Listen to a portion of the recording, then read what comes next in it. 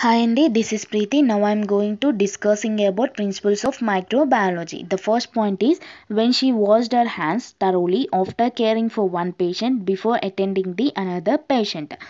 Okay, here during procedure or providing treatment to the patient, the nurse must should be follow a hand washing. Okay, hand washing is an very important and it is an one of the important principle in microbiology okay here after completion of the treatment uh, of the one patient the nurse go to another patient for providing the treatment.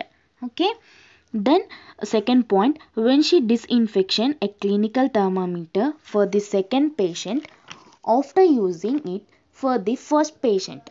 Okay here using a sterilized thermometer to the first patient here the nurse does not use a second person because it may become disinfected. Okay.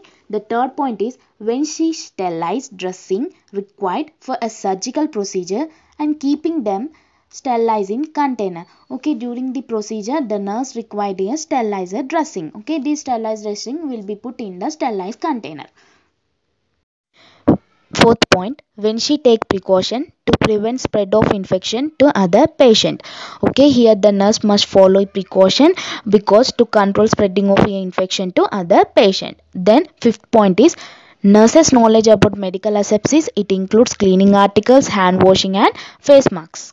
Okay, here the nurse needed a minimum knowledge about the medical asepsis uh, like uh, cleaning articles, hand washing and face mask okay then six point knowledge about the surgical asepsis like including fumigation sterilization of instrument swabs syringes. And also here the nurse needed a minimum knowledge about the surgical asepsis like fumigation sterilization of instruments swabs and syringes.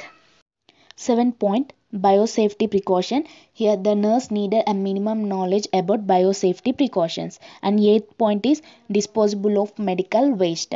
Okay while disposing medical waste the nurse must follow a measures. Okay then nine point is specific precautions against. Example hepatitis b virus and hiv okay for hepatitis b virus hiv here the nurse will be taken as specific precautions for against the diseases okay this is the points and explanation of the principles of microbiology. Thank you